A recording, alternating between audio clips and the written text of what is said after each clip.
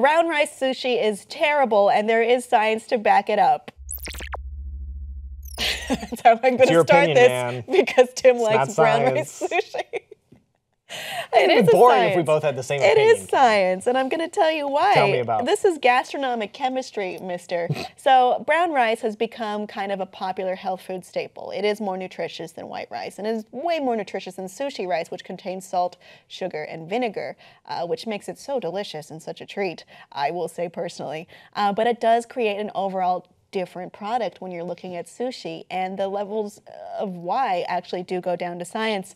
Uh, rice, which comes in 40,000 varieties, uh, has two starches, amylose and ami. No, let me try it again.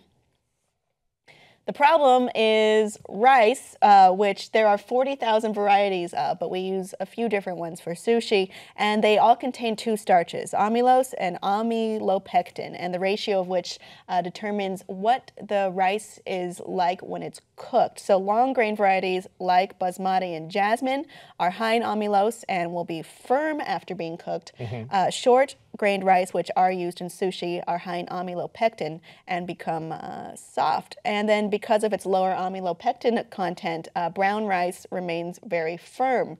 So this is a textural experience. When you're eating sushi, um, it's a, the ideal is that the rice and the the fish would melt in your mouth as one. But when you're eating with brown rice, it will not melt as one.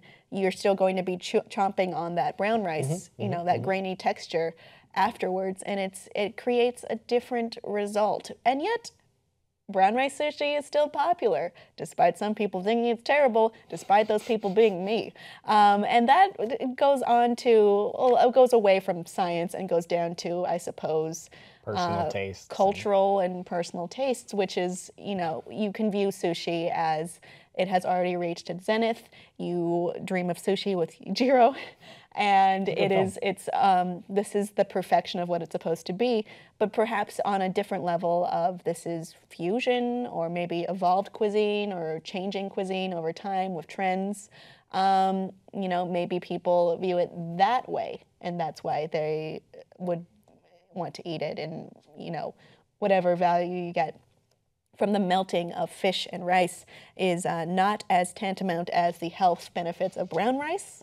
Is that where you're leaning? You're nodding. Okay, well, no, first of all, nothing that you've said is wrong. All everything that you said was scientifically accurate, and if you look at the history of sushi and what it's supposed to look like, what it's supposed to taste like, the experience that you're supposed to have from a cultural standpoint, how it was invented, you're right. The the, the white rice with the the salt and the vinegar and the melting in your mouth and uh, taking a back seat to the flavor of the fish, those are all correct things.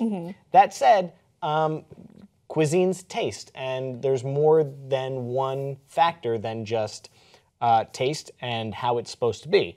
Um, the added health benefits of brown rice, I think, are very important. Someone who is trying to eat more healthy um, could pick brown rice and would still enjoy it, even though it doesn't quite melt in your mouth, or even though it has a stronger taste than the white rice does. I think I view it more as a treat.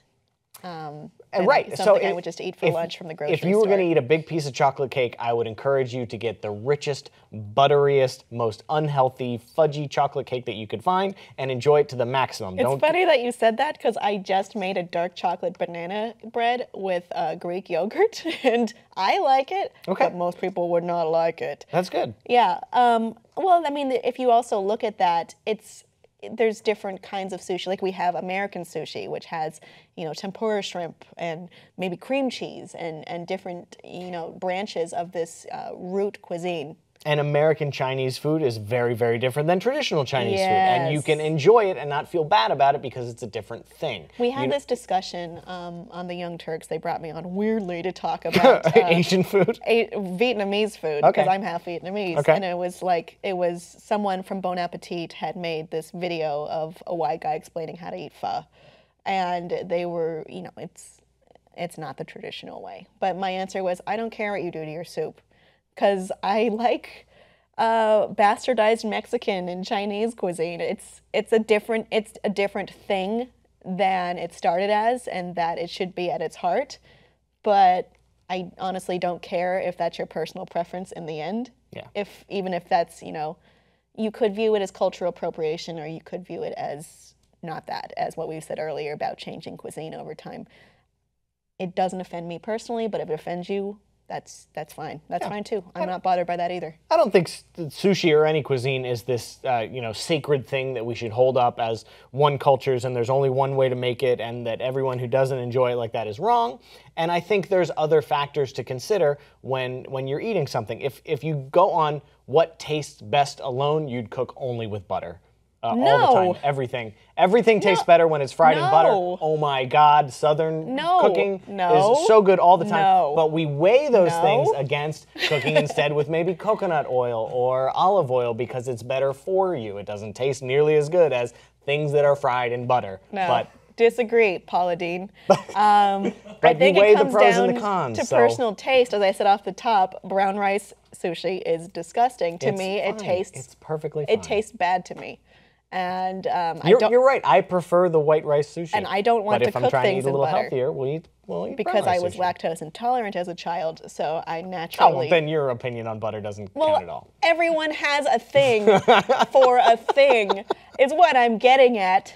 Anyway, I'm Do what you furious like. about Do what you brown like, rice. Audience, is brown rice sushi okay? And how or how not? Please let us know below in the comments, and please like and subscribe for more fighting.